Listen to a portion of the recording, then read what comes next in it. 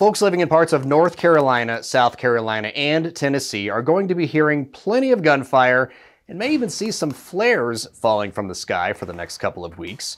Don't worry though, there's no actual combat. It's just the next crop of U.S. Army Special Forces candidates trying to earn their Green Berets.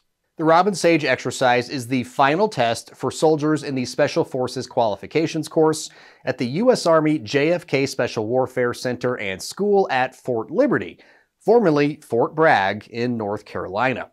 It's basically finals week, only instead of all night study sessions, the approximately 100 or so Special Forces students will participate in a simulation to help guerrilla fighters in their fictitious war against the oppressive powers of Pineland.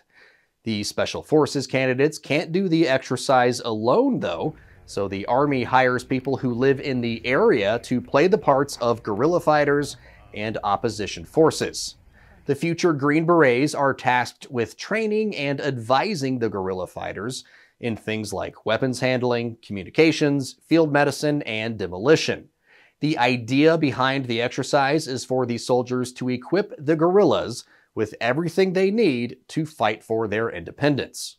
Robin Sage is considered the U.S. military's premier unconventional warfare exercise.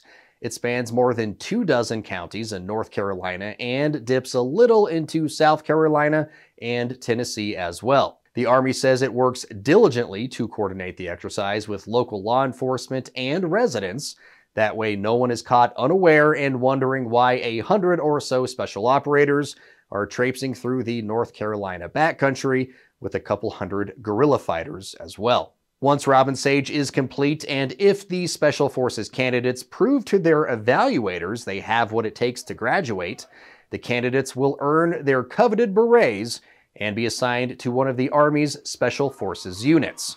This round of Robin Sage is scheduled to run through February 1st.